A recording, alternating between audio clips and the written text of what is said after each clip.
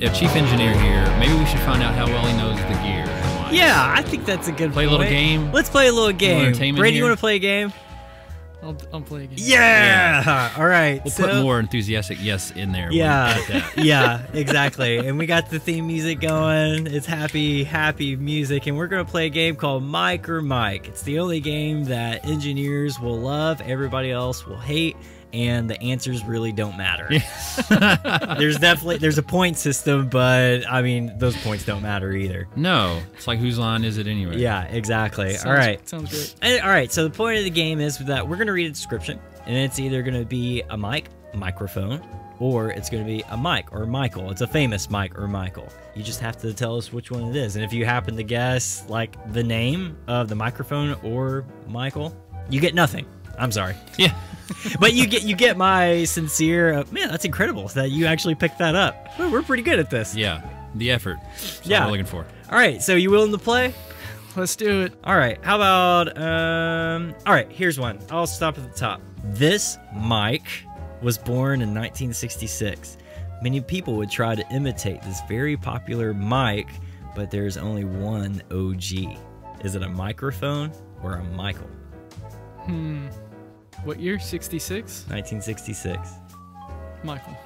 Oh, okay, I'll give it to you. Why not? Because it could either have been a Shure fi- SM58 because it, it was uh, built in 1966. But yeah, Michael, Mike, Mike D from uh, the Beastie, Beastie Boys. Boys. So congrats, yeah, good Yeah. job, Brandon. All I'll give you the points on that one. Yeah, all right, and you're both Brandon. all right, all right. Well, Uh, winning here? uh, not the listeners. Um, all right. So this one, this white, short-bodied mic can handle many roles and is shaking up the industry. Is it a Mic or Mike? Man, these are way harder than I could have ever imagined. yeah, I think it's a mic. I'm pretty Which sure it's a mic. it's a microphone. yeah, yeah, good job. Yeah, Uh, no, it is uh, Michael J. Fox. yeah.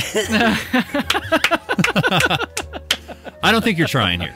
That's by far my favorite. That's a really good one. yeah.